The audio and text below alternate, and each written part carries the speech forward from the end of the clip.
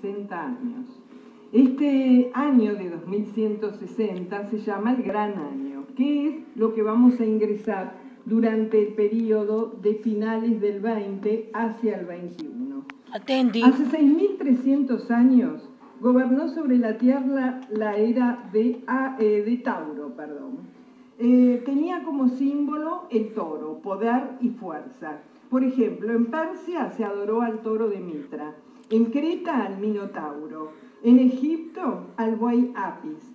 Y también se hizo un culto del becerro de oro, cosa que mostraba el materialismo de la era taurina, que Moisés combatió, iniciando así la era de Aries. Recordemos siempre que eh, para la astrología va al contrario de las agujas del reloj. Por eso Tauro, Aries, después vino Pisces y ahora vamos a ingresar en Acuario. La era de Aries empezó en el año 4000, hace 4000 años, influyendo en la humanidad. Por ejemplo, en Egipto se impulsó el culto al dios Amón, un animal consagrado que era el carnero. También Aries está regido por Marte, el dios de la guerra. Este dios de la guerra es lo que marcó estos tiempos en donde Roma se, se convirtió en el imperio más grande, pero a fuerza de armas, de armamento. Luego vino la era de Pisces, muy diferente a todas las demás, ¿no? Eh, donde el símbolo era el pez. Increíblemente, el cristianismo tenía como símbolo eh, los dos peces, representando a Pisces. Marcó una época muy complicada, eh, donde se indica la duplicidad de los dos peces. Recordemos que Pisces es un signo eh, doble. por ejemplo, lo espiritual iba contra lo material, la ciencia hasta ahora contra la religión, la iglesia contra el Estado, la Inquisición fue en ese periodo también. ¿Qué tuvo como positivo la era pisciana? Bueno, aparecieron muchas religiones, muchos santos, eh, típicos del cristianismo, también el budismo, muchísima fuerza. Eh, todo esto marca el exponente místico de la era pisciana. Todo cambio de era siempre es muy convulso. Eh, es como que viejos paradigmas se resisten al cambio y los nuevos pujan por salir. Todo este tipo de cuestiones, más allá que en el 2020 fines empiece la gran mutación, que ahora les voy a contar, están marcando periodos muy importantes en la historia. Si vos entras en internet y pones era de Aries, era de Pisces, vos vas a ver qué hubo, qué pasó, vas a ver que hubo cambios enormes en el planeta, en la humanidad. Em, ahora, al comienzo de este año, seis ciclos se cierran totalmente. La conjunción de Saturno y Plutón se hace exacta el 12 de enero del 20, pero ya ahora se empieza a sentir. El punto más bajo energético del planeta lo tenemos en estos momentos, desde, para decir con exactitud hace dos o tres años. El punto más oscuro, el punto más pesimista, donde están pasando cosas en el mundo que uno realmente se asombra, se asombra a todo lo que está sucediendo. Los cronocractores, que son los dioses del tiempo, que son Júpiter, Saturno y Plutón, también entran en una conjunción muy, muy fuerte, lo que se llama en astrología tríplice conjunción. Eh, no te voy a nombrar que la última que estuvo en Tauro fue en 1100 y pico, porque te aburriría dándote estos datos. Para mí son importantísimos. Pero bueno, en ese periodo de esta tríplice conjunción, eh, fue la plena segunda cruzada contra los europeos y los asiáticos, por ejemplo.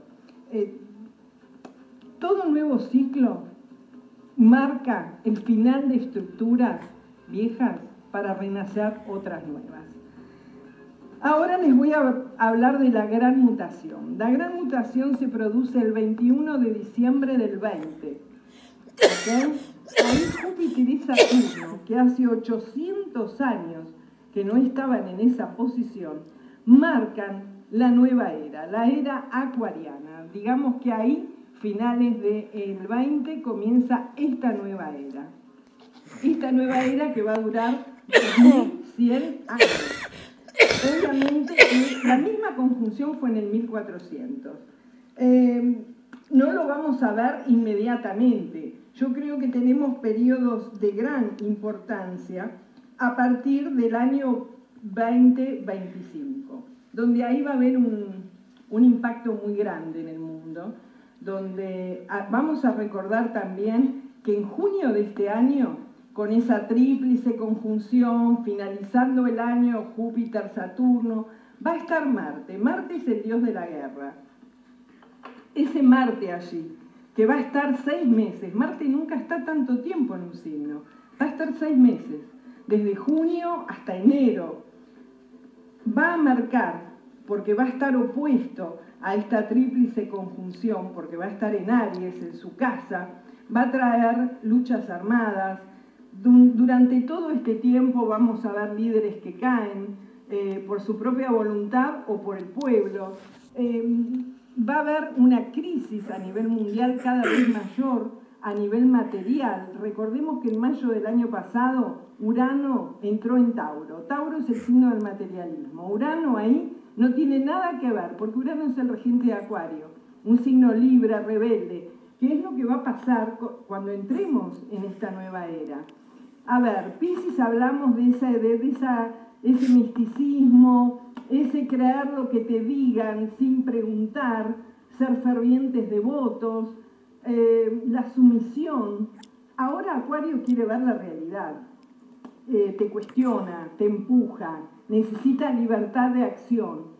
Bueno, ese es el cambio que va a haber. Como negativo de la era de Acuario hay que tener mucho cuidado Acuario es un signo que a veces se cree el rey de la verdad, que está destinado a algo, que fue tocado por la varita mágica, y esto puede traer un montón de líderes o caudos este, santos o gente que, que promueve una idea religiosa, que hay que tener mucho cuidado con estas cosas. Al micrófono se me va el ojo.